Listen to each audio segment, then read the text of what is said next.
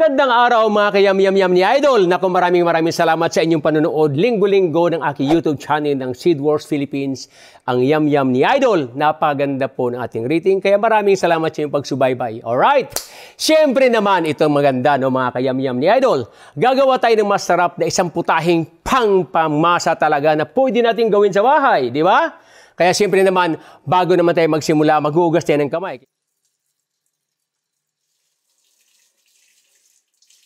Alright, gagawa tayo ng If1 uh, Prolifica Stuffed Rolled Eggplant Rumaki Style. Ito po'y masarap para sa pambahay, pambata, pambaon, lahat po ay pwedeng pwede. At attractive uh, reddish purple fruit ito, no black appearance. Or tinatawag natin na overripe, long shelf life, ito mahabang mahabang buhay niya, less prone ng ating tinatawag na borer or uod. So, loose need din ng ating insecticide na ginagamit ideal for organic farming. Alright? Di ba? Ang ganda-ganda. Iwas tayo ng mga ating insecticide. So, talagang purong-puro na masarap itong gamitin ng ating If1 Prolifica na stop rolled eggplant rumaki style. Okay. So, ang gagawin natin ay uh, isisyo natin ng salt. Kasi to avoid the darkness of our eggplant. Yan, technique lang po yan. Yan. Lagyan natin ng salt. Just do the yum yum yum every day. Then, masisiyahan kayo. Lagyan natin ng kunting salt. Then, of course, kunting mantika. Ayan. Okay.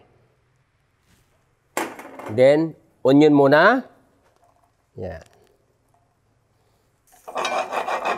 Isa natin lang yan. Magandang maganda pagka medyo translucent. Ang dating, maganda-ganda po yung uh, luto natin. Now, the garlic. Put the garlic. Next is our tomato. Yan. Alright, tomato. Salt. Okay. Tell mo put salt. White pepper. Okay, there you go. Okay, so may salt na tayo. Meron tayong uh, nilagay na paminta. Ayan. Okay. So mapapansin nyo po, ang ginagawa ko ay hindi siya lutong-luto ha. Half cook lang. As you can see. Yan. Ilagay natin dito. Put here. Half cook lang ha, mga kayam-yam ni Idol ha. Yan. To start that, we put the ating breadcrumbs para mag-stick or humawak at hindi siya yung maghiwalay. Set aside for a while, then roll na tayo. Pipit-pitin lang natin ng ganyan ha. Lalagyan natin ng palaman. There you go.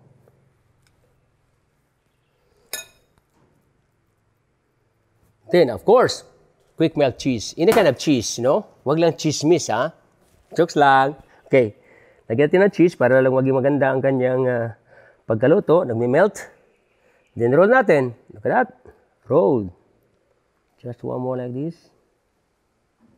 Lift it up. Lagyan natin ng tomato sauce.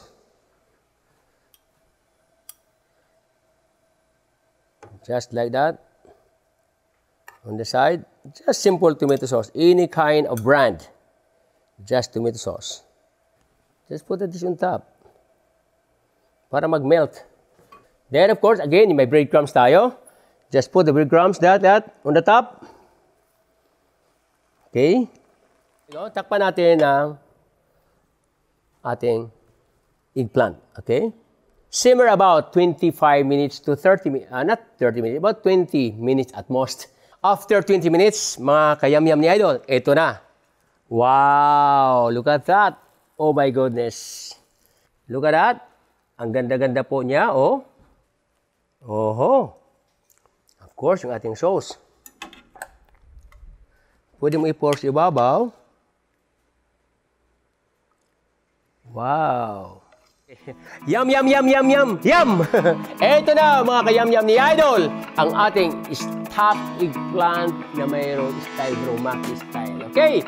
Magkita-kita tayo muli next week para sa masasarap at masustansyang pagkain uh, ihahanda ko sa inyo dito lamang yan sa Yum Yum ni Idol! Panoorin ang aking past episode sa YouTube channel, Seed Wars Philippines. Subscribe na!